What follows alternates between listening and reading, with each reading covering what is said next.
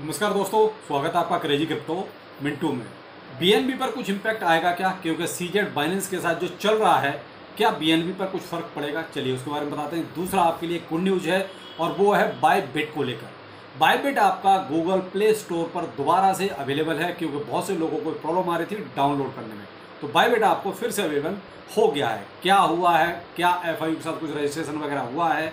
या कोई और? चलिए, बताते हैं इसके बारे में भी और मार्केट में कुछ आपके क्वेश्चन हैं, उनको लेकर तो पहले लेते हैं गुड न्यूज़ जो बाय बिट को लेकर है। तो बाय बिट में देखिए, अभी जो बहुत सारी प्रॉब्लम थी, लेकिन अभी बाय बिट भी चल रहा था। ठीक ठाक सब सब कुछ ठीक था, लेकिन बीच में जो है, कहीं ना कहीं बाय बिट के साथ भी प्रॉब्लम आई।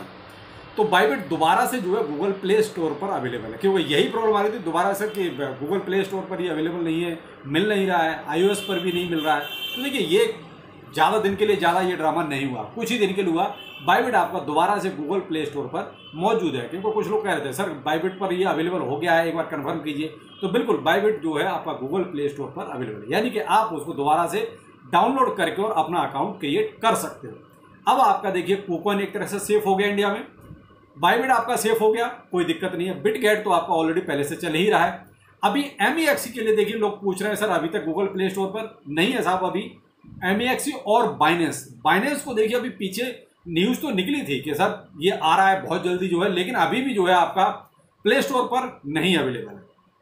तो जैसे ही आता है, उसको भी आपको अपडेट दिया जाएगा। फ़िलहाल देखिए, अभी अब बाईबिट ने भाई एफआई के साथ रजिस्ट्रेशन किया है नहीं किया है इसका तो नहीं पता। क्योंकि अभी तक ऐसा कोई अपडेट है नहीं।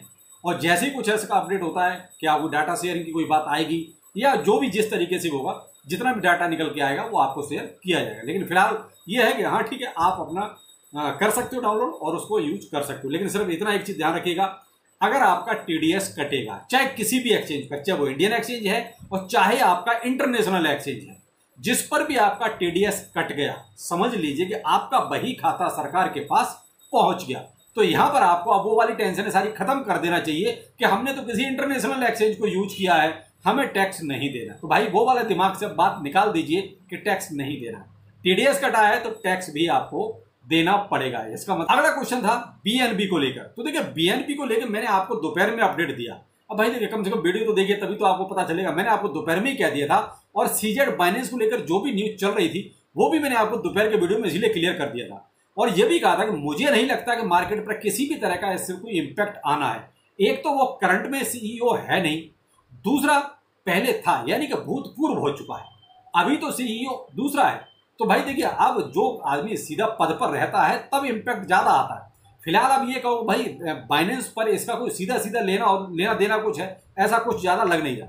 तो मैंने तो आपको पहले ही कहा था। दूसरा आपका देखिए, फ़िलहाल बीएनबी का प्राइस जो घटने का चांस कम ही था, क्यों? अभी दो दिन पहले ही तो आपका इसमें देखो रेंजो प्रोटोकॉल आपका लॉन्च पूल पर आया हुआ है। तो वहाँ पर देखिए ऑलरेडी बीएनबी और एफ़ की आपकी स्टेकिंग हो रही है।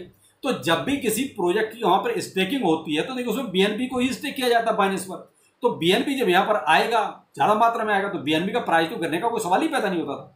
तो देखिए, यहाँ पर मेरे को तो नहीं लगता कि भाई बीएनबी का प्राइस अभी गिरेगा। बीएनबी का प्राइस तो देखिए, अभी जो मार्केट के अकॉर्डिंग चल रहा है, उस हिसाब से चलेगा। दूसरा, यहाँ अभी फ़िलहाल अगर कोई और मान लीजिए प्रोजेक्ट आ गया लॉन्च पूल पर तो देखिए और बीएनबी का प्राइस बढ़ेगा। क्यों?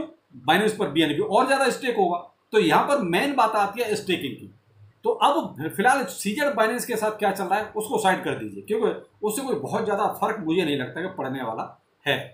मार्केट में देखिए बीटीसी फ़िलहाल आपका वही आपको झूला झुला रहा है, छियासठ हज़ार सड़सठ हज़ार। हाँ आज थोड़ा सा आपका देखिए, पैंसठ हज़ार नौ सौ और पैंसठ हज़ार साढ़े आठ सौ तक भी आपको दिखाई दिया। लेकिन बहुत ज़्यादा कोई ये कहोगे नीचे जाने वाले सीन ऐसा कोई नज़र आ रहा है, ऐसा तो नहीं नज़र आ रहा है लेकिन मार्केट ऐसा कभी भी कुछ भी हो सकता है, लेकिन फ़िलहाल जो आप ये देख रहे हैं चार्ट पर, ऐसा मुझे कुछ सीन ज़्यादा नज़र नहीं आ रहा। अगर हाँ ये कैंडल आपकी एक और नीचे फोर आवरली उसमें अगर नीचे क्लोज होती है तो मे भी आपको ये फिर चौसठ हज़ार वाली रेंज पर भी कहीं नज़र आ सकता है, लेकिन इसके नीचे कोई कैंडल और रेड क्लोज होनी चाहिए। अभी तो यही कैंडल क्लोज नहीं हुई है। तो भाई अभी ये कहना मुश्किल है कि हाँ क्या ये चौसठ हज़ार जाएगा या नहीं जाएगा?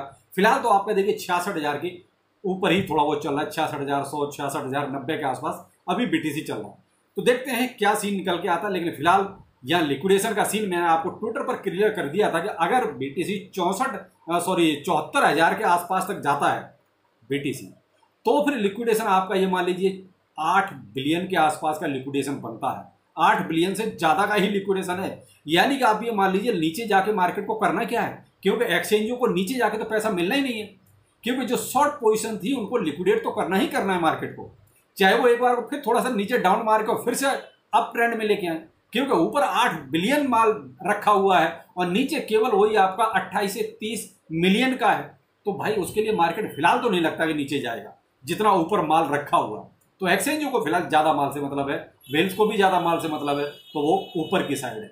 तो इसलिए यहाँ थोड़ा सा ये आपको देखिए, एक झूला झुलाया जा सकता है, बाकी ये कहो कि मार्केट यहाँ से बहुत ज़्यादा नीचे जाने वाला चांस थोड़ा सा कम नज़र आते हैं, जो फ़िलहाल जो सिम्टम्स नज़र आ रहे हैं, उसके अकॉर्डिंग कह रहा हूँ। बाकी क्रिप्टो मार्केट है, कभी भी कुछ भी हो सकता है। इसका रिज़ल्ट आपने आज हेडरा पर देखा। एक फेक न्यूज़ थी कुल मिला के। अभी तक भी उसका कोई ऐसा नहीं है रिज़ल्ट निकल के आया कि हाँ बाकी में ब्लैक रॉक ने ऐसा कुछ कहा है क्या? कुछ भी नहीं। उसके भी फेक न्यूज़ पर आप देख लीजिए, सौ परसेंट के आसपास हेडरा बढ़ गया। तो ये क्रिप्टो ऐसा, यहीं ऐसे काम हो सकते हैं। बाकी और कहीं नहीं। तो आप ये मत समझिए कि क्रिप्टो में क्या कुछ नहीं हो सकता, सब कुछ हो सकता है, किसी भी टाइम हो सकता है। तो फ़िलहाल मार्केट आपका देखिए, वही छियासठ हज़ार के आसपास चल रहा है। भाई, कुछ लोग पूछ रहे हैं बोन के बारे में कि बोन में सर क्या चल रहा है, ये बोन तो और नीचे जा रहा है। बिल्कुल साहब, बोन अभी चल रहा है लगभग zero point six five dollar के आसपास। कितना और नीचे जा सकता है? तो साहब, मेरे हिसाब से अगर मार्केट नीचे जाता है थोड़ा बहुत, वो कहते हैं बीटीसी अगर हल्का सा और डिप मारता है तो आप ये मान लीजिए वही आपका पचास इक्यावन की सीरीज़ तक, यानी कि डॉलर में आपका zero point five one five two के आसपास तक भी जा सकता है, अगर बीटीसी थोड़ा बहुत, जो पीछे रेंज थी बीटीसी की, उसके अकॉर्डिंग अगर मैं कहूँ तो। क्या बाइंग बनती है? तो मेरे भाई देखिए बोल में ऑलरेडी मेरी बाइंग सफिशियंट है। मैं आपको बहुत स्पष्ट बोलूँ। हाँ शॉर्ट टर्म के लिए मैं इसमें बाइंग बनाता रहता हूँ। फ़िलहाल इसमें ऐसा कुछ मेरा सीन नहीं है। मैं अगर ये थोड़ा सा और, अभी जैसे सिक्सटी फाइव के आसपास चल रहा है तो मैं point zero point six zero या point zero point five eight के आसपास अगर आता है तो एक छोटी बाइंग बनाऊँगा, वो भी शॉर्ट टर्म के लिए। यानी कि मुझे वो लॉन्ग टर्म में नहीं रखनी है, उसको जो है थोड़ा सा प्राइस बढ़ते ही और उसको निकाल कर खत्म करूँगा। तो अभी फ़िलहाल मैं इसमें कोई बैंक नहीं बना रहा हूँ, और आप अपने अकॉर्डिंग अगर एसआईपी करना चाहो तो कर सकते हो, क्योंकि प्राइस रेंज ठीक है। यहाँ ये कहोगे प्राइस बहुत ज़्यादा, कोई नीचे जाने के चांस ज़्यादा नज़र आ रहे हैं तो वो अकॉर्डिंग टू BTC या अकॉर्डिंग टू मार्केट यही हो सकता है, बाकी फ़िलहाल तो एस की रेंज में तो बोन है।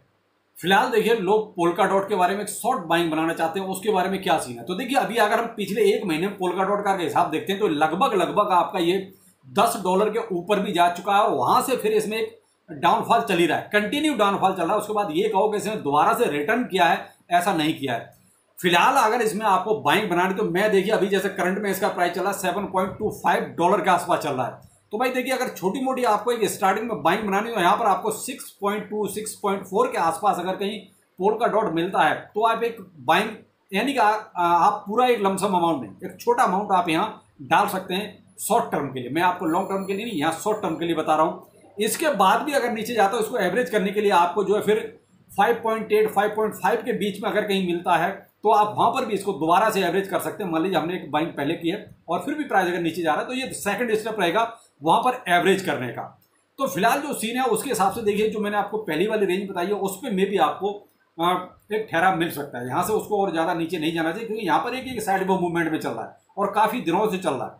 तो अब यहाँ हम इसके बारे में सोच सकते हैं। बाकी देखिए, ये कोई फाइनेंशियल एडवाइस नहीं है क्रिप्टो करेंसी है या कभी भी कुछ भी हो सकता है। तो प्लीज़ आप अपनी रिसर्च ज़रूर करें, किसी भी टोकन में बाइंग बनाने से पहले। तो चलिए फिर मिलते हैं किसी अपडेट के साथ। नमस्कार।